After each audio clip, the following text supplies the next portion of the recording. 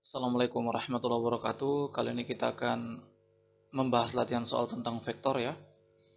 Soal pertama, dua buah gaya setitik tangkap saling tegak lurus di mana besarnya masing-masing 12 Newton dan 5 Newton. Besar resultan kedua gaya tersebut adalah jadi kita punya dua buah gaya ya eh, yang setitik tangkap artinya uh, pangkalnya itu uh, berada pada satu titik atau dihubungkan ya. Kemudian saling tegak lurus. Nah, kalau saling tegak lurus artinya sudut yang terbentuk antara dua buah gaya tersebut antara F1 dan F2 adalah 90 derajat. Ya kan? Karena saling tegak lurus. Nah, kemudian uh, ini uh, F1 kita yang F1 kita misalkan yang 12 Newton ini ya.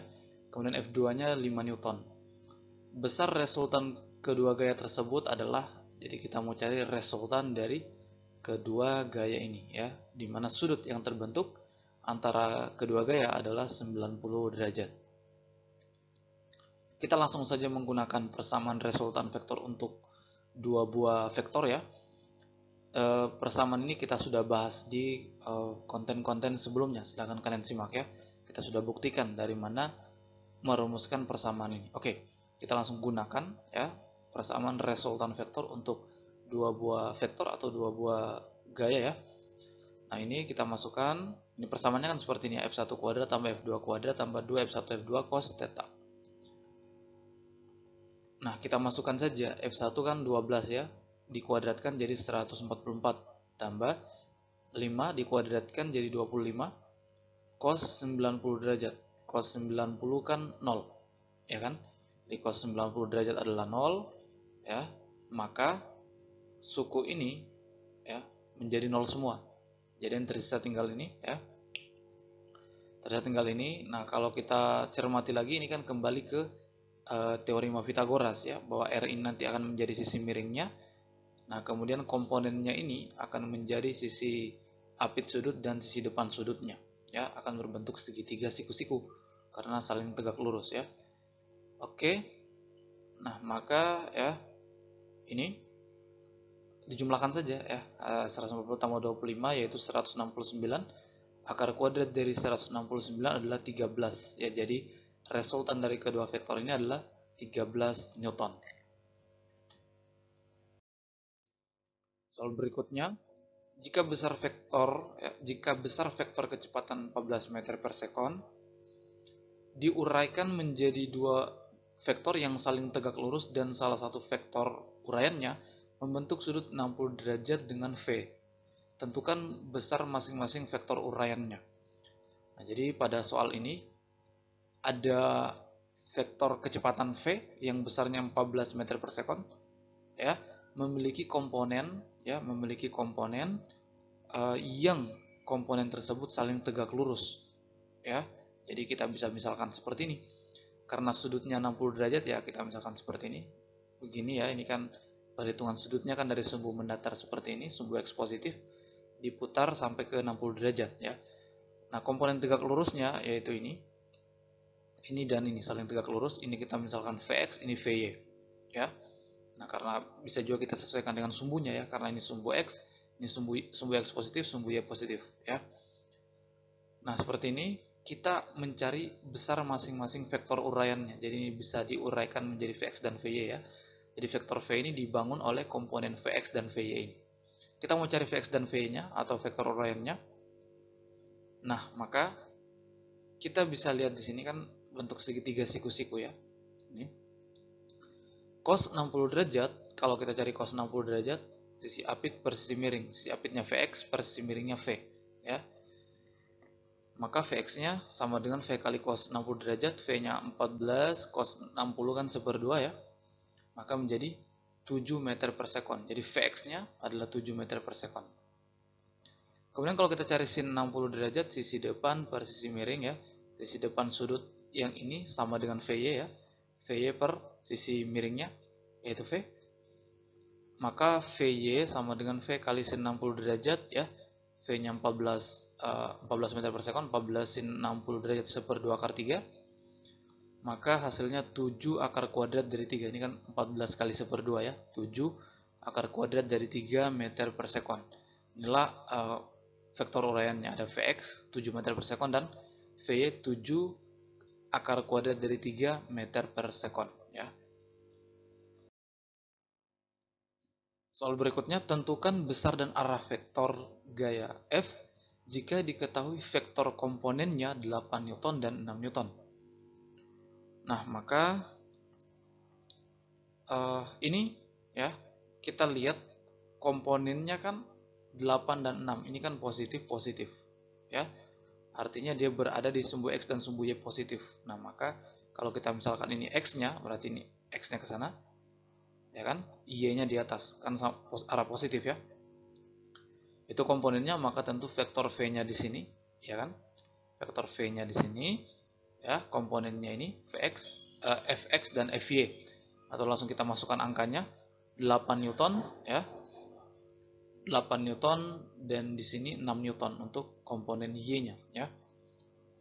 Nah, kita mau cari besar dan arah vektor gaya F. Jadi kita mau cari besar vektor F ini dan arahnya. Arahnya yang mana? Nah, arahnya ini adalah sudut theta ini. Nah, karena kalau kita tahu sudut theta, maka kita tahu arah vektor F ini ya misalkan tetanya adalah 30 derajat misalkan nah maka vektor f ini awalnya disejajarkan dulu di, dengan sumbu x positif sebagai acuan 0 derajat ya kemudian kita putar sebesar 30 derajat putar 30 derajat kemudian berhenti nah maka kita tahu arahnya ya kan oke nah ini ini uh, bisa kita keluarkan ini kan ada segitiga siku-siku ya segitiga siku-siku kita keluarkan seperti ini di mana sisi miringnya adalah V eh, adalah F, sisi apitnya adalah 8 Newton, sisi depan sudutnya adalah 6 Newton ini ya. Nah, ini tetanya. Nah, kemudian kalau kita mau mencari besar F ini tidak lain kita bisa gunakan teorema Pitagoras, ya kan? Teorema Pitagoras berarti akar kuadrat ini kan sebagai sisi miring ya, sebagai sisi miring yaitu akar kuadrat dari uh, jumlah kuadrat sisi-sisinya, 8 kuadrat tambah 6 kuadrat, ya. Teorema Pitagoras kan? 8 kuadrat 64 6 kuadrat 36 maka itu hasilnya adalah 100 ya. Akar kuadrat dari 100 adalah 10 jadi inilah besar dari vektor gaya F yaitu 10 Newton ya. Di sini saya tidak masuk kita tidak masukkan lagi tanda vektor karena kita mau cari besarnya besarnya ya 10 Newton sekarang arahnya yaitu tetanya nah eh, ada beberapa cara menentukan atau mencari teta ya di sini kita menggunakan bisa kita gunakan sin, cos atau tangen, ya. Misalkan kalau kita gunakan sin, ya, maka kalau kita cari sin theta, sisi depan per sisi miring, ya kan? Sisi depannya adalah 6 per sisi miringnya f ini adalah 10, ya.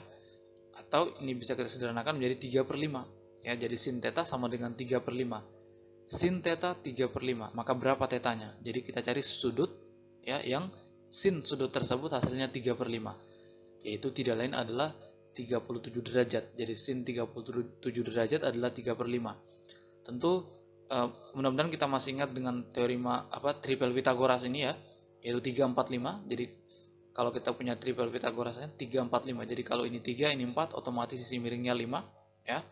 Nah, 345 ini ya uh, eh, 3 itu sisi depan dari 37 derajat, 4 sisi depan dari 53 derajat. Ya. Nah, atau ini kalau kita kali dua masing-masing sisinya maka menjadi 6, 8, 10. Triple Pitagoras 6, 8, 10 ya. Nah, 6 ini menjadi sisi depan dari 37 derajat. 8 menjadi sisi depan dari 53 derajat. Jadi 6, 8, 10. Nah, 3 per 5, 3 per 5 ini ya, 3 ya, sin 37 derajat sama dengan 3 per 5. Depan per miring, ya kan? Jadi sin 30 derajat adalah 3 per 5. Jadi ini harus kita ingat, ini sering sekali digunakan pada soal ya.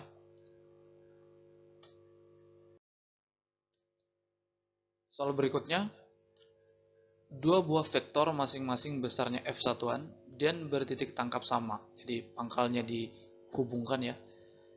Jika resultan kedua vektor f satuan, sudut apit kedua vektor adalah kita tulis dulu yang diketahui besar ya dua buah vektor masing-masing besarnya f satuan. Jadi ada f1 besarnya f F2 besarnya F, ya kan? Dua buah vektor besarnya F satuan. Jadi uh, F1 besarnya F, F2 besarnya F, gitu ya.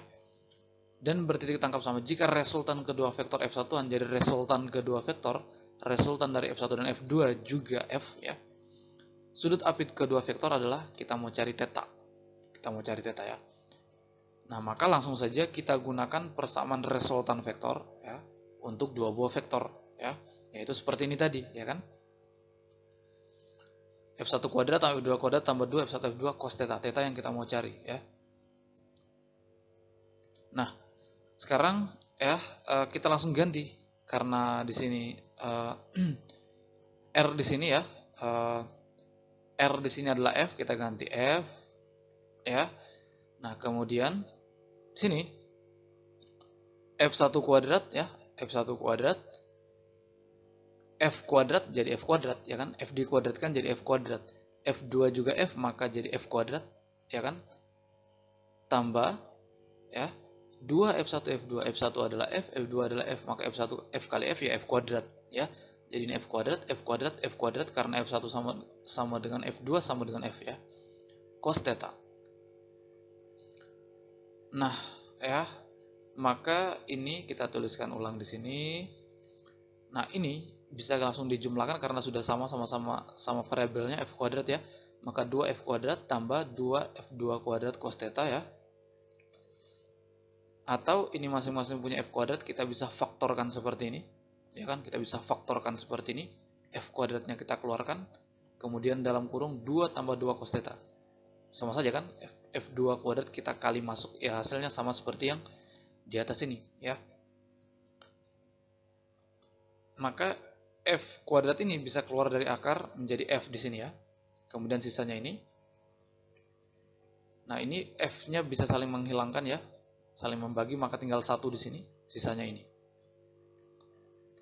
Nah, kalau kita kali kali kalau kita pasang kuadrat di sini, satu kuadrat ya, pasang pangkat dua di sini, maka di sini juga pasang pangkat dua, ya kan? Nah, pasang pangkat dua di sini jadi satu kuadrat, pasang pangkat dua di sini, pangkat duanya saling menghilangkan dengan akar kuadrat, maka tinggal 2 tambah 2 cos theta. Ya kan? Kalau di sini kita kuadratkan, ya di sini juga harus dikuadratkan. Kuadrat di sini akan saling menghilangkan dengan akar kuadrat, maka tinggal 2 tambah 2 cos theta. Akar kuadratnya hilang ya. Di sini satu kuadrat. Nah, maka ini satu sama dengan 2 tambah 2 cos theta ya. Ini kan satu kuadrat ya satu.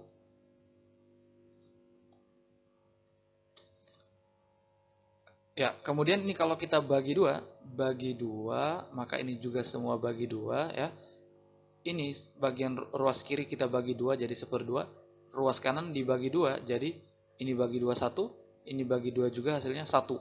Jadi tinggal satu tambah cos theta ya kan? Satu tambah cos theta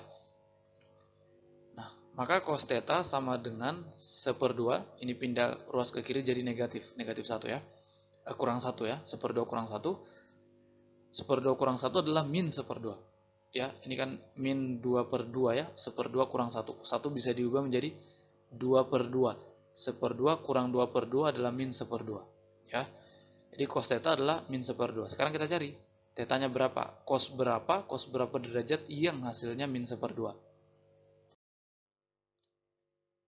maka uh, kita kembalikan ke uh, ini uh, tabel kita ya uh, sin cos tangen yang sudut-sudut istimewa ya Nah, di sini cos yang hasilnya seper, min seperdua ada ini kita lihat cos ya.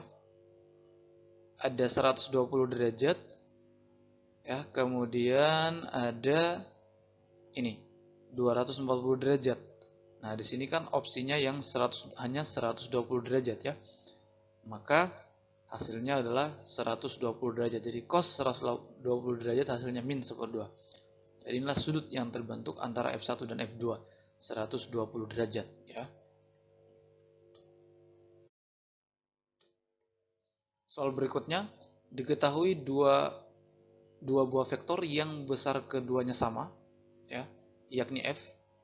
Jika perbandingan antara besar jumlah dan besar selisih kedua vektor sama dengan akar kuadrat dari 3, sudut yang terbentuk kedua vektor adalah Nah, kita tulis lagi yang diketahui ya. Dua buah vektor besarnya sama, ya. Jadi F1 sama dengan besar F1 sama dengan besar F2 sama dengan F, ya. Jika perbandingan antara besar jumlah. Jadi besar jumlah. Jadi f vektor f1 tambah besar vektor f1 tambah vektor f2 kemudian besarnya. Jadi besar jumlahnya ya begini. Besar jumlahnya. Jadi bukan besar f1 tambah besar f2, tapi vektor f1 tambah vektor f2 kemudian besar itu, besarnya ya. Nah, perbandingan perbandingan antara bes, bes, uh, besar jumlah dan besar selisih. Jadi selisihnya lagi ya perbandingannya uh, besar jumlah banding besar selisih sama dengan akar kuadrat dari 3, akar kuadrat dari 3. Jadi akar kuadrat dari 3 itu kan sama dengan akar kuadrat dari 3 bagi 1, ya kan? Jadi ini perbandingannya, Penjum, besar penjumlahan banding besar pengurangan ya atau besar selisihnya adalah akar kuadrat dari 3 banding 1, ya. Kita mau cari theta, sudut yang terbentuk antara F1 dan F2 ini ya. Oke, kalau begitu kita misalkan F1 tambah F2 ini kan vektor F1 tambah vektor F2 itu kan hasilnya adalah uh, vektor lagi ya, yaitu resultan vektor uh, resultannya kan, resultannya. Nah, besar resultannya, besar resultannya atau R1 kita misalkan adalah ini kan persamaannya. Jadi besar ini jadi ini ini ya, ini ini adalah R1 persamaannya kan ini ya. Nah, kemudian ini pengurangannya kita misalkan R2 kita misalkan R2 kalau pengurangan ya resultannya ya yaitu kan seperti ini. Di sini menggunakan kurang ya. Nah jadi ini kita misalkan R1 ini kita misalkan R2 persamaannya kan seperti ini ya. Nah maka untuk R1 nya kita ganti ya. R1 kan di sini akar kuadrat dari 3 jadi R1 sama dengan ini sama dengan akar kuadrat dari 3 ya. Ini ya Eh, sama dengan ya kita ganti F1-nya adalah F kuadrat ya F kuadrat ya. Nah, kemudian ya.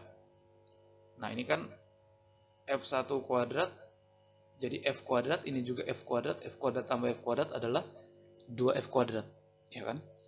Tambah F1 F2 ini kan F kali F ya, F kuadrat. Jadi 2F kuadrat cos theta karena kan F1 sama dengan F2 sama dengan F ya. Jadi ini hasilnya ini Nah, kemudian untuk R2, ini R1 tadi ya, R1 tadi. Nah, untuk R2 ya, R2 kan ini ini kan 1 ya kan? 1. Jadi ini R2 ini kan sama dengan 1.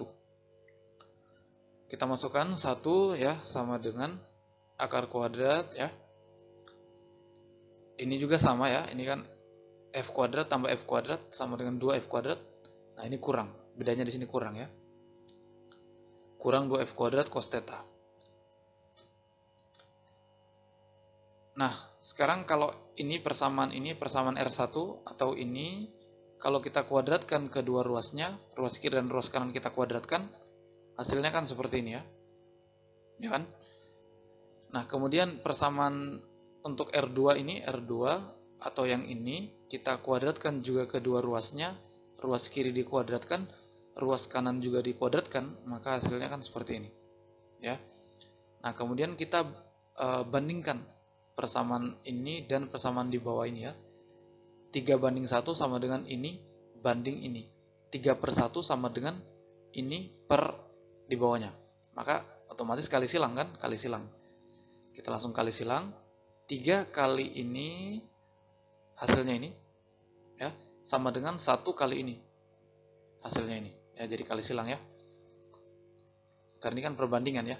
Kali silang Nah, maka ya ini kalau uh, kalau kita bagi dua ya, kalau di ruas kiri kita bagi 2f kuadrat, di ruas kanan juga kita bagi 2f kuadrat, ya, maka di ruas kiri menjadi seperti ini, bagi 2f kuadrat ya, tinggal 3 kurang 3 cos theta. Ini bagi 2f kuadrat, maka tinggal 1 tambah cos theta. Ya kan? Maka ya, ini cos theta min 3 cos theta pindah ruas ya, maka menjadi tambah sama dengan uh, ini 3, 1 pindah ruas ya, jadi kurang. Maka cos theta tambah 3 cos theta sama dengan ya, 3 kurang 1, kita tuliskan ulang. Maka menjadi 4 cos theta sama dengan 2, cos theta sama dengan 2 per 4, sama dengan 1 per 2. Ya, sama dengan 1 per 2. Nah, maka tetanya adalah 60 derajat. Cos 60 derajat adalah 1 per 2. Ya kan? Jadi tetanya adalah 60 derajat. Kita kembalikan ke tabel sudut-sudut istimewa tadi ya. Jadi cos 60 derajat adalah 1 per 2. Inilah hasilnya.